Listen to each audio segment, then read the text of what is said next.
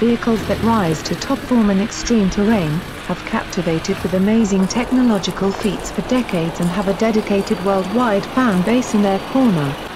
The Mercedes-Benz Unimog UHE 5023 with output of 231 horsepower, 170 kilowatts, which is produced by a 5.1-litre four-cylinder engine and impressive 900 newton-meters, which are on tap constantly across the entire main operating range of 1200 to 1600 RPMs.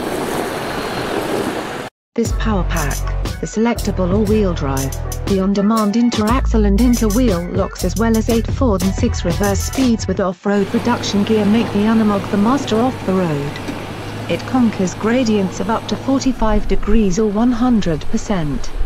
It can tilt by up to 38 degrees, which corresponds to a maximum tilt angle of 76% and it has a fording depth of up to 1.2 meters.